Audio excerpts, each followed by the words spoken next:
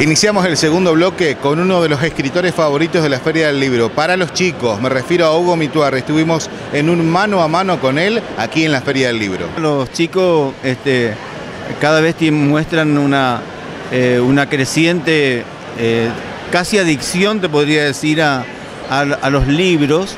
No solo a, los míos, sino en general. Yo veo, y en particular en esta provincia, este, el fervor que hay por la lectura y el hecho, hay un hecho muy este, significativo, yo tengo una página en Facebook y el 80 al 90% de mis contactos son niños de 8 a 12 años. Bueno, mi último libro, eh, voy a presentar dos libros, pero mi último libro es una novela de un nuevo género, que es de la ciencia ficción. Esta es una novelita que se llama Criaturas Celestes, que habla de unos seres extragalácticos que vienen al Chaco y desarrollan una, este, una amistad con una familia de campesinos. Eh, también, como todos los anteriores, para chicos de 8 o 9 años en adelante. Y el otro libro que voy a presentar es uno ya conocido que salió hace unos meses, que es este, Cuando era chico, el libro de cuentos y relatos de aventura y humor.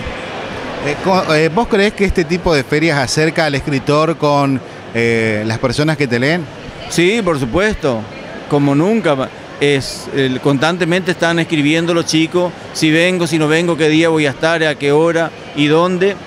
Así que esta es una oportunidad fantástica para encontrarme con todo ello, a pesar de que algunos ya, este, eh, hay algunos que son tan fanáticos que algunos pasan hasta por misiones, cuando van a las cataratas o algo, pasan por Oberá a saludarme, así que eso para mí es maravilloso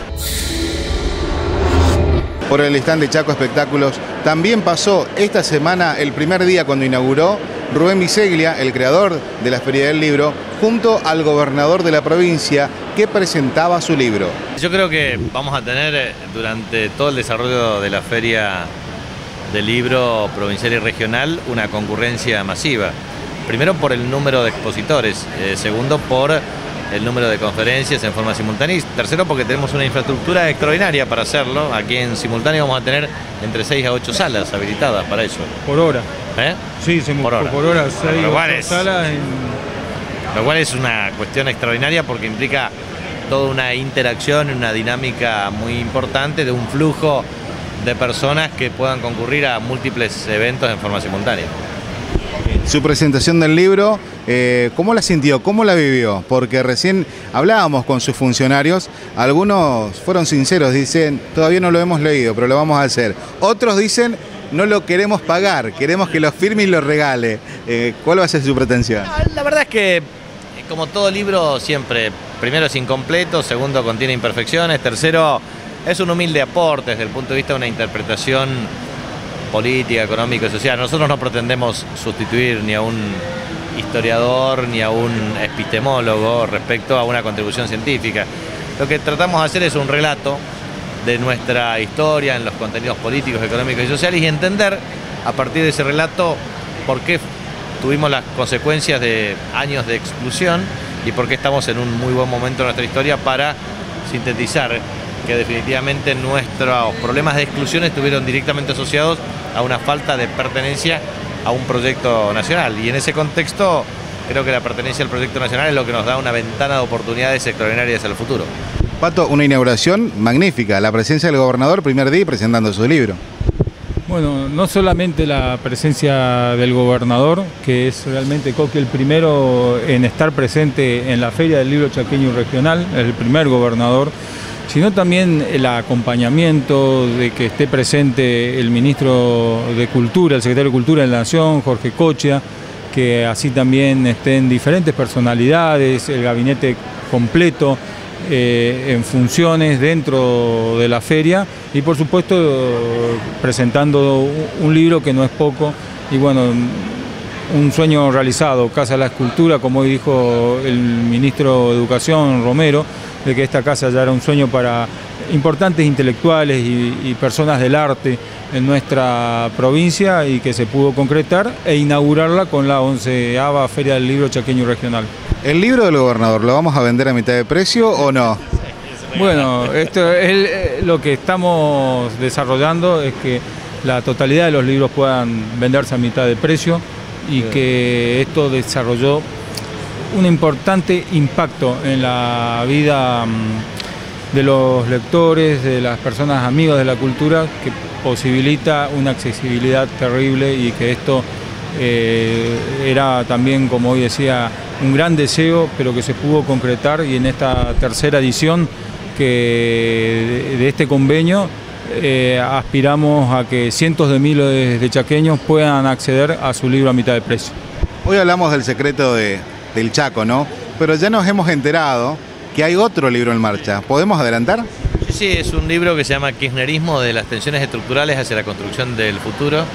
Es un libro que seguramente estamos con una meta de presentación el próximo 18 de mayo y está ya en la fase final de corrección para ver si nosotros en el mes de marzo-abril ya lo volcamos a imprenta para su proceso y, de, y su exposición. Pero es un libro también que tiene un relato sobre la base de que la República Argentina ha tenido tres tensiones estructurales. Uno entre gobernabilidad y calidad institucional, otro entre estabilidad macroeconómica y crecimiento y otro entre inclusión social y distribución del ingreso. Una cosa importante para visitar esta feria es la gratuidad. De que que, que muchas ferias del libro sí sí hay que pagar y importes de alto valor Llegamos al final del segundo bloque de Chaco Espectáculos. Si quieres saber más de lo que ha pasado esta semana en la Feria del Libro, quédese allí que tenemos para mostrárselo aquí en Chaco Espectáculos.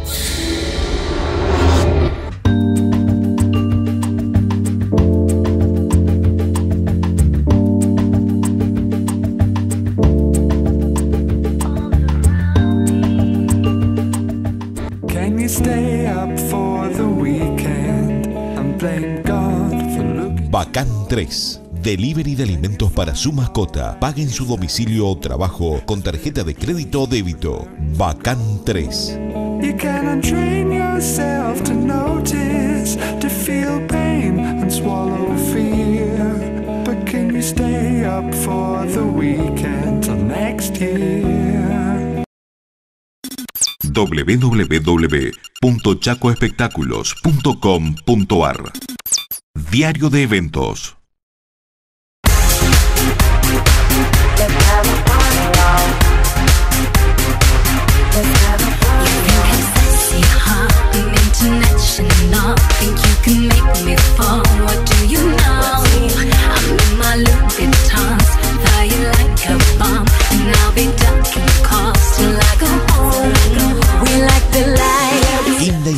Avenida Belgrano 735. Red Voy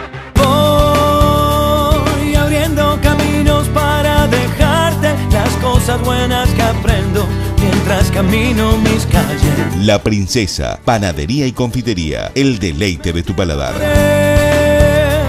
Las buenas luces que tiene la gente que me iluminan la vida. Bacán 4. Delivery de alimentos para su mascota. Pague en su domicilio o trabajo con tarjeta de crédito o débito. Bacán 4.